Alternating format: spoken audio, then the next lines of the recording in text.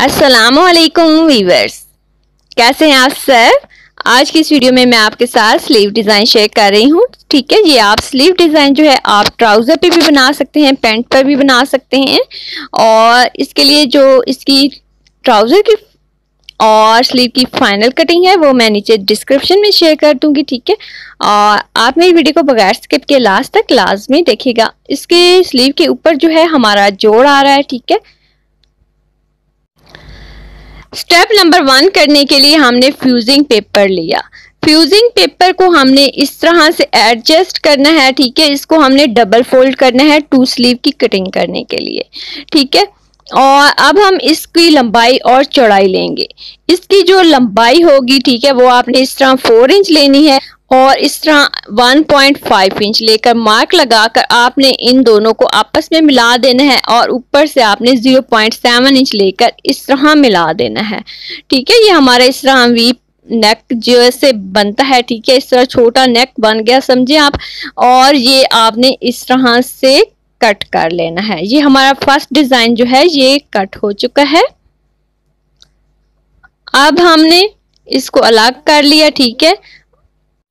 आज से पहले जो हमारे स्लीव में जोड़ आएगा, जोड़ आ रहा था, ठीक है, उस जोड़ को हमने इस तरह से स्टिच कर लेना है, ठीक है?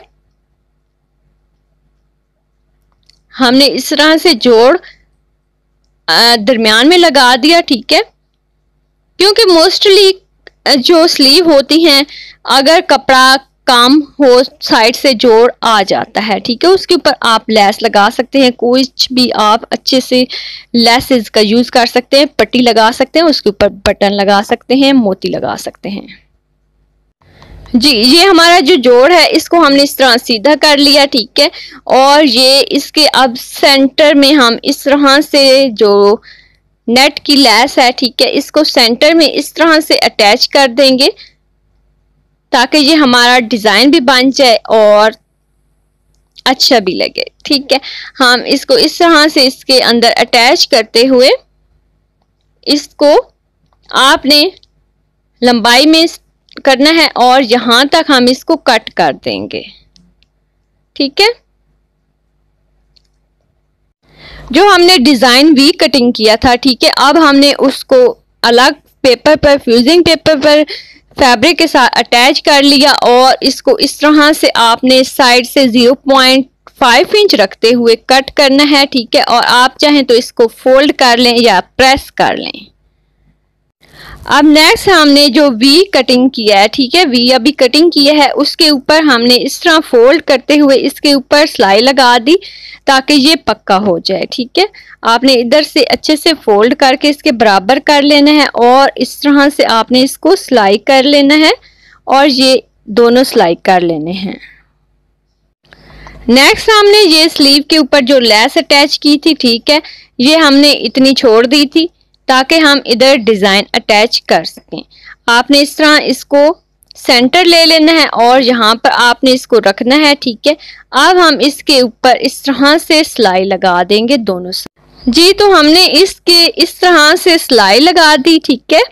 और ये देखें, ये हमारी इस तरह सिलाई हो चुकी है। और दूसरी साइड से भी आपने इस तरह वी को सिलाई कर लेना है, वी डिज़ाइन को। और अब हम इसको कट करेंगे और फैब्रिक को भी साइड से आपने कट करना है। 0.3 इंच रखते हुए ये देखिए कट हो गया। अब आपने इसको सीधा कर लेना है और इसके ऊपर अच्छे से आयरन कर लेना है।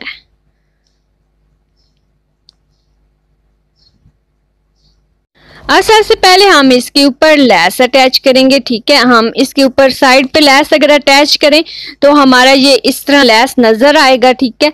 हम इसको इस तरह से बराबर में रखते हुए लेस को अटैच करेंगे, ठीक है?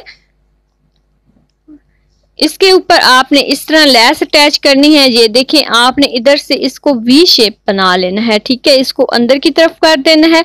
ये इस तरह से हमारा जब आ जाएगा, आपने इसके ऊपर सिलाई लेके जानी है और फिर आपने बराबर वापस लेके आनी है और फिर आपने इस तरह लेस के साथ साथ सिलाई लगा देनी है, ठीक है? अब हम इसके दूसरी साइड पर भी सिलाई सेम लगा लेंगे और ये हमारा कंप्लीट हो गया। ये हमारे दोनों भी जो हैं, स्लीव, ये बनकर तैयार हो गए हैं। चलें तो अब नेक्स्ट स्टेप करते हैं। ये पेपर फ्यूजन मैंने टू स्लीव के लिए इस तरह से फोल्ड कर ली। ठीक है? इसकी जो चौड़ाई है, ठीक है, वो है टू इंच टू इंच के करीब है, ठीक है? इसको मैं बराबर कर लेती हूँ, ठीक है? आपने इसकी चौड़ाई टू इंच लेनी है और लंबाई आपने अपने मुताबिक लेनी है। यानी कि मैंने ली है इलेवन इंच ठीक है?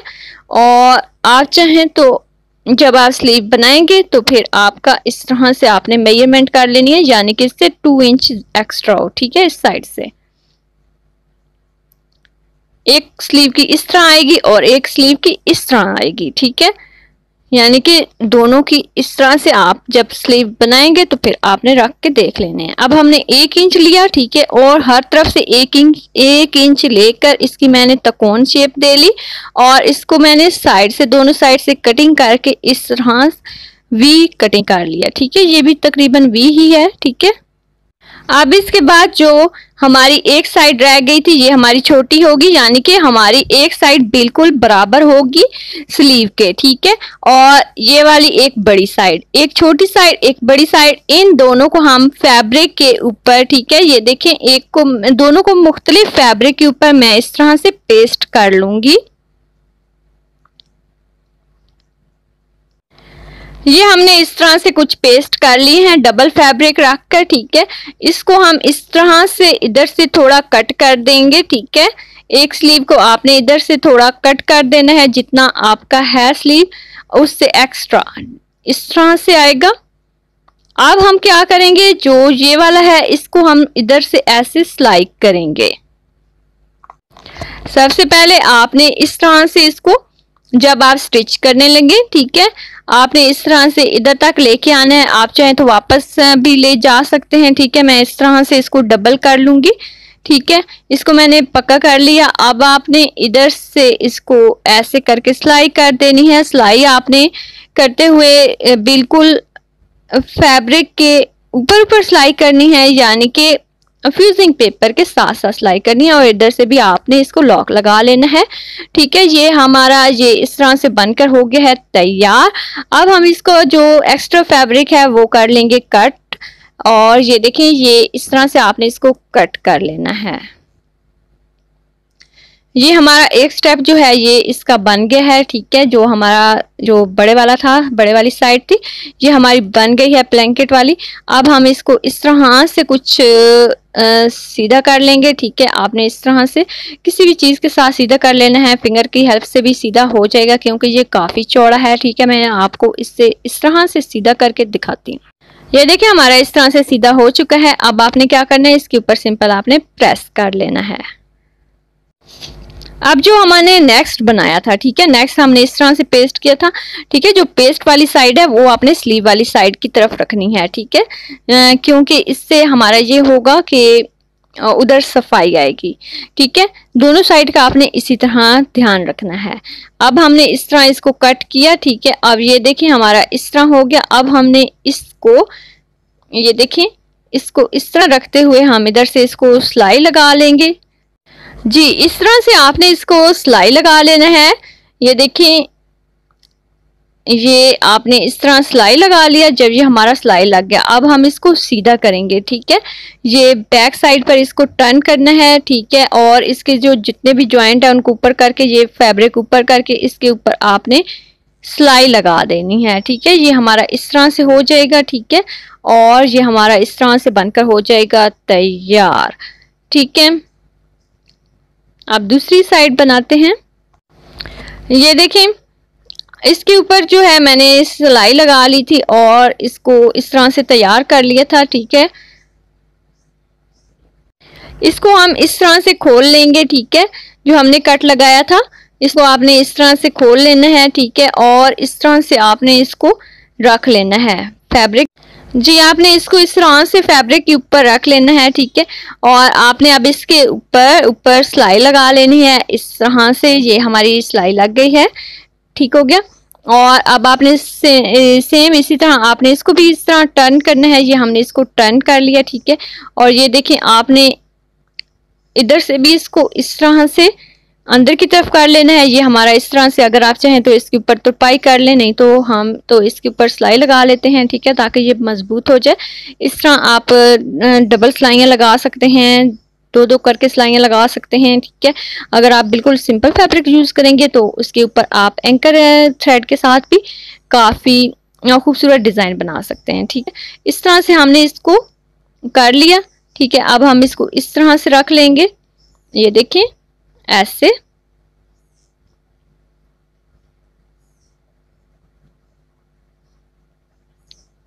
और इसके ऊपर हम इस तरह से बटन लगा लेंगे, ठीक है? ये बटन जो है ना, ये काफ़ी आसान है। इसको मैंने आज, मैंने क्या किया? आज मैंने ना इसको गुलाई में कटिंग करके ना बनाया तो ये काफ़ी आसानी से बन गया।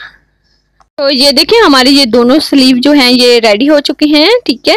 और अब हम इसको इस तरह से फोल्ड कर लेंगे, ठीक है? इसको आपने इस तरह से फोल्ड करना है, जो मैंने दरमियान की कटिंग नहीं बताई थी, ठीक है? अब मैं इसको कट कर लूँगी, क्योंकि अब ये हो गए हैं तैयार, ठीक है?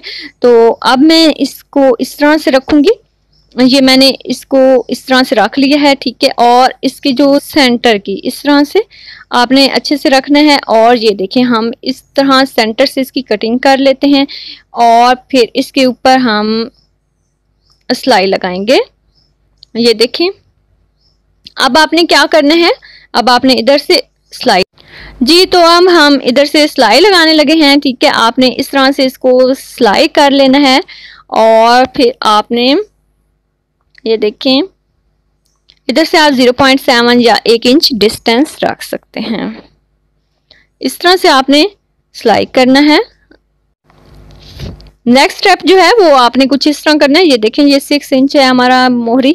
ठीक है, आपने नेक्स्ट स्टेप जो है, वो इस तरह से करना है कि आपने इस तरह से इसको ट्रायंगल शेप देनी है। ट्रायंगल शेप देकर आपने इसके ऊपर सिलाई लगा देनी है।